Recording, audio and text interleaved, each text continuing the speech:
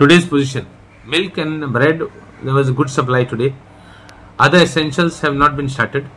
We are in the process of arranging uh, essentials like uh, tea powder, tea, uh, milk powder, then uh, oil, atta, essential like little biscuits, uh, milk powder for children, Cerelac for children, uh, other things, vegetables. By today, we are getting permissions for the vehicles to come in. By tomorrow, we should uh, have the things in place by tomorrow evening. By day after tomorrow, we should start supplying. We will see that the minimum uh, items will be reached to the people. Whereas today's position, milk was available in Goa Dairy, in um, uh, dairy at uh, uh, Raia as well as Curtorim. Milk booth in Curtorim had milk. By tomorrow, milk booth will have in Curtorim. Milk booth in Raia will have one Raia booth will have. Plus dairy will have tomorrow milk.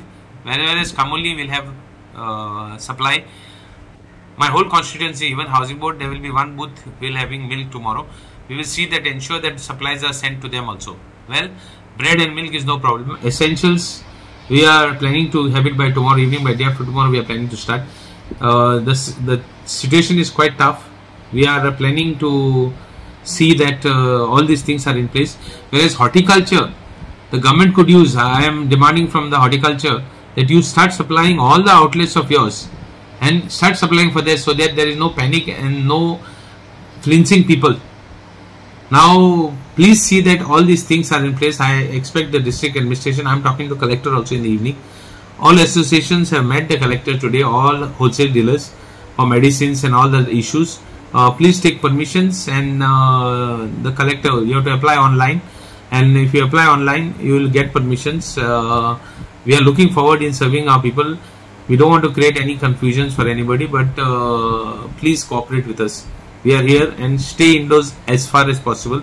The we have already had three cases already that is detected. May, there may be some undetected cases also.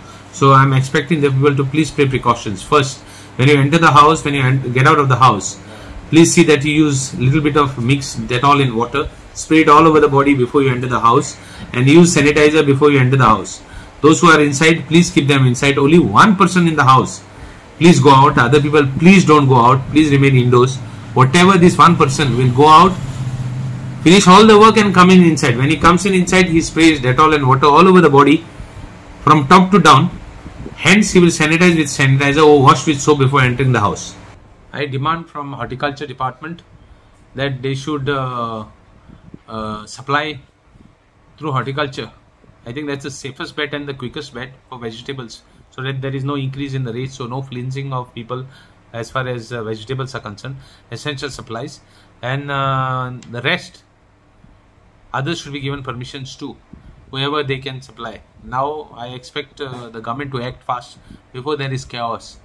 There will be people who will be fighting and breaking the rules, and the real issue of seeing that there is no contact or the purpose of having all this will be defeated. So the administration should act fast and we expect the administration to supply all the items.